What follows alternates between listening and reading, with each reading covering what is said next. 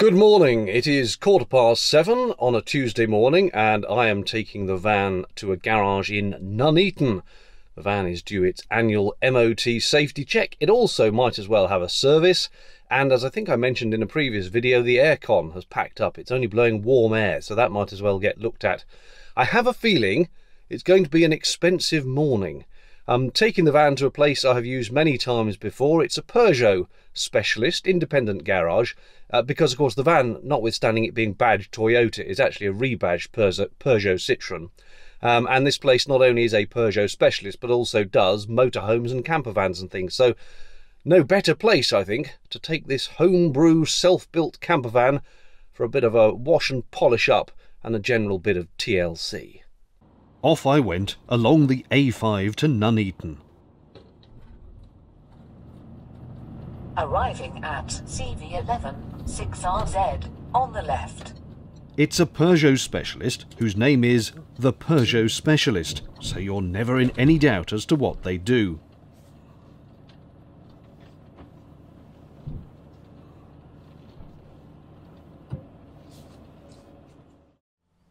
A few hours later, and the van has passed its MOT in pretty good shape. It's also had its service. Unfortunately, the aircon is a leak in the condenser, so they need to order another condenser. So that couldn't be fixed, but they will um, give me a quote and get one in, and I'll just have to come back and get that done another day. For now, though, onwards. I'm heading effectively towards Gloucester, but I'm going to stop off to visit the family tonight en route. In fact, I was starting with a visit to Stroud, which is near Gloucester, and which largely involved several miles of the M5 motorway, followed by some extremely scenic A roads, lots of rolling hills and pretty villages.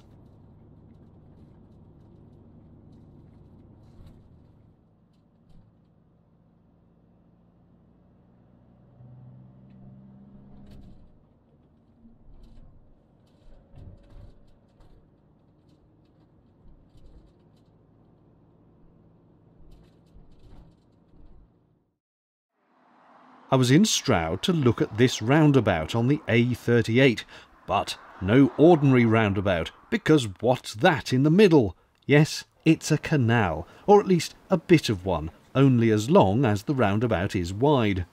It's part of a restoration of a 36 mile long canal route linking the Gloucester and Sharpness Canal at Saul Junction to the Oxford Canal at Lechlade, and this bit under the roundabout has just been finished.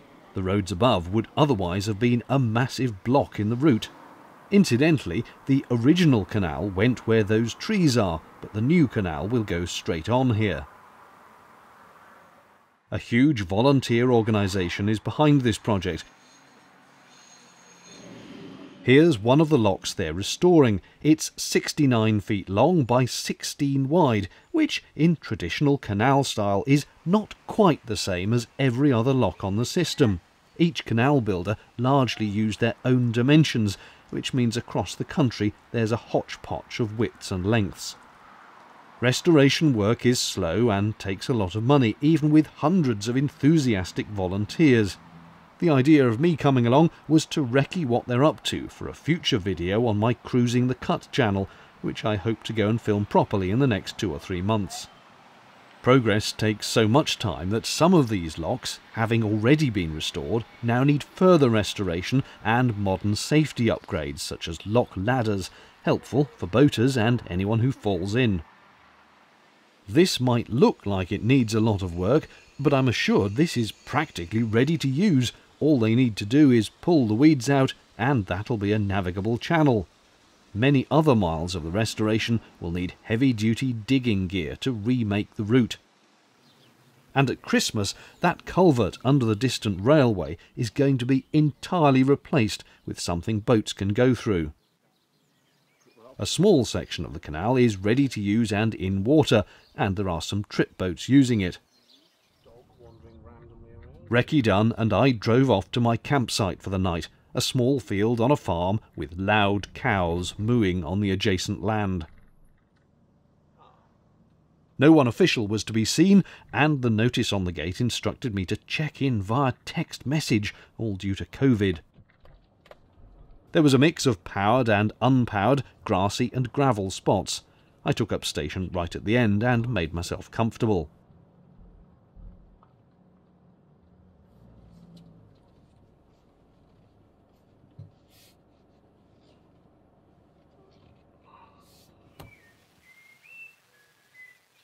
One day each plot will be separated by these bushes, which is always nice for privacy.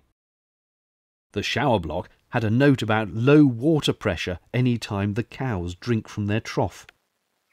The trees gave me shade while the sun continued to give me solar power.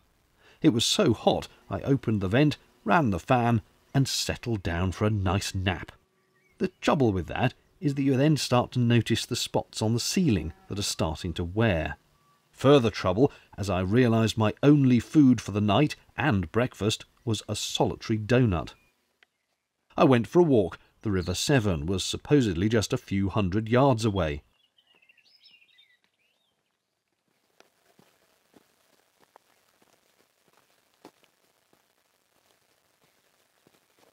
And there it is, tidal on this stretch, and clearly the tide was out.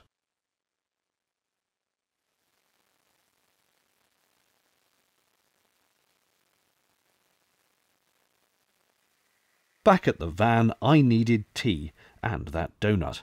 And thankfully, I discovered my supper saviour with this old pack of noodles. Hurrah! I could sleep with a full tum. The next morning, I showered, had a cup of tea, and headed to Gloucester. Here's a tip.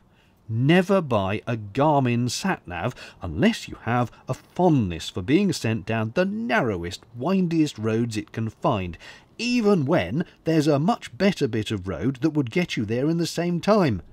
It's frustrating that while I can tell it to avoid major roads, there's no equivalent setting for single track country lanes, which my sat-nav adores.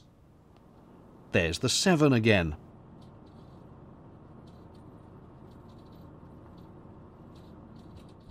and coming into Gloucester, a sudden break as you turn a corner and find oncoming traffic over a bridge. Thankfully, another van driver was kind enough to let me through.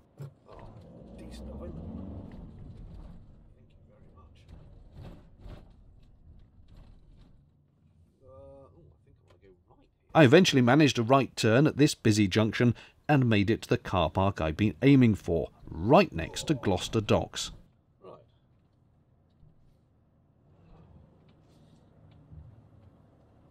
Perfect. I've not been to Gloucester before, and although I was here to film an interview with the Canal and River Trust, I had some time to kill, so wandering round the docks seemed like a good plan. Look! Narrowboats! Not narrowboats. More and moored narrowboats.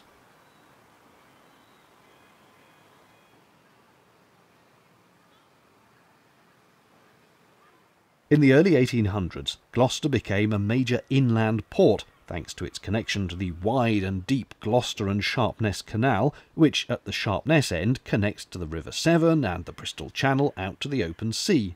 Hence all the warehouses here, where goods were unloaded and loaded, being taken on narrowboats for distribution inland to supply the industrial towns in the Midlands and the north of England. Some of those warehouses are now blocks of flats. One's the National Waterways Museum, outside which are moored a couple of boats, including this substantial dredger. Its conveyor belt buckets scooping up great loads of muck, a lot of which ends up in the basin due to silt from the river.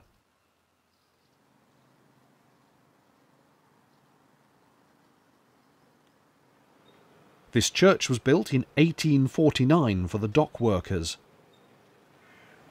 And here's an info board. Press pause on the video to read through it. Elsewhere, a display commemorates the railways that used to run into the docks, which as ever competed with the canals. There are remnants maintained within the pavements. The line disappears down the side of that warehouse. Again, here's some info. That rather impressive road bridge is raised when boats need to pass, as with this light blue narrowboat who was waiting for the green light to go. When it was shown and the bridge raised, the boat could proceed.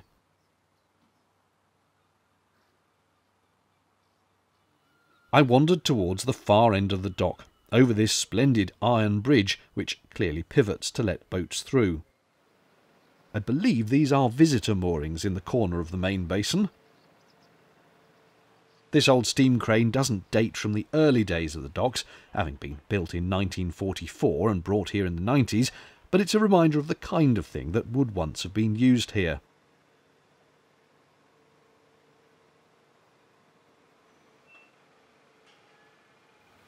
In the far corner is a lock to the River Severn, the way that narrowboats would currently make their way to the rest of the canal network from here, and vice versa. It has a rise of 12 feet 3 inches.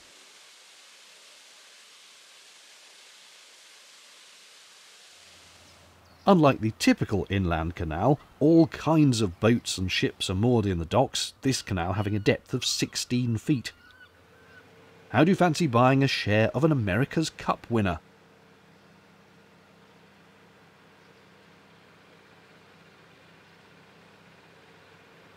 Or an outright purchase of a 1934 Bermudan cutter? A huge dry dock on one corner was empty when I visited. The water held back, mostly, by these giant gates.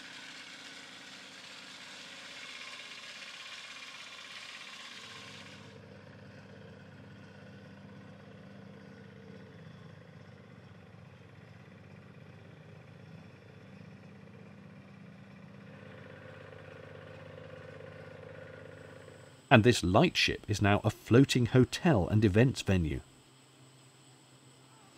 There was just time for me to get breakfast at this empty cafe, a cupcake and a coffee, before heading to the CRT for filming. That done, I drove to Frampton on Severn nearby, which boasts the country's biggest village green. It's 22 acres. I met a friend here for a coffee and a chat in the sunshine, and then later headed home. Thanks for watching. Cheerio.